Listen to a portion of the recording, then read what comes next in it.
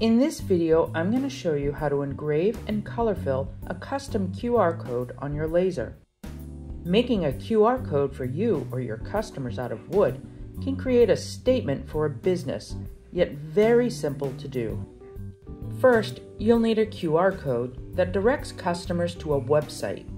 You can have that done professionally, or you can find a free QR code generator online.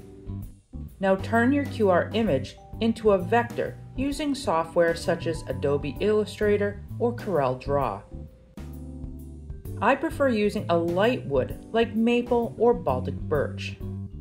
Here, I'll be using 8th inch Baltic birch for this one.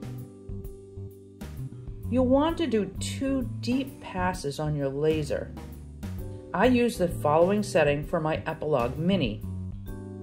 DPI of 400, a power of 100, and a speed of 60.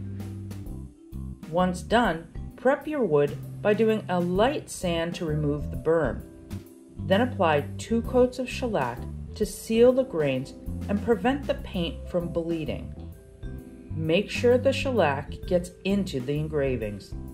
It's best if you can let this dry overnight if possible to set. Now grab some cheap acrylic paint, short bristle brush, wet paper towels, and some water. In small sections, really work the paint into the engraving. I prefer to use cheap acrylic paint because the water content is higher and it has less pigment, thus it's less likely to stain your wood.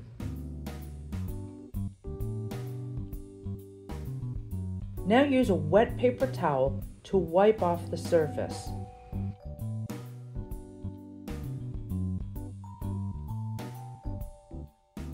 I must confess that I didn't have time to let the shellac set overnight and I got a little nervous that the paint was going to stain on the wood.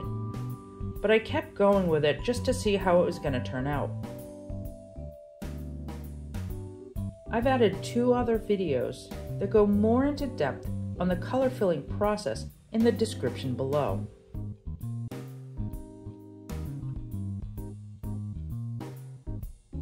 Once done, you can touch up the areas that you might have missed or accidentally wiped out of the engraving area. The paint must be 100% dry before you sand it, otherwise the dust is going to stick to that paint. Now, sand the surface clean. If you didn't seal the wood well enough, or let the shellac dry, then you might see some paint bleeding into the grains. Some of this will be a trial and error process for you, but it goes pretty fast. Use an air compressor or any other way to blast air or vacuum to clean out the dust. You might want to seal the wood with an outdoor rated finish if this is going to be for craft fairs or left outside.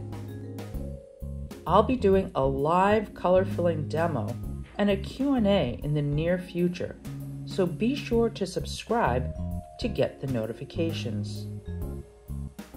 We'll see you next time.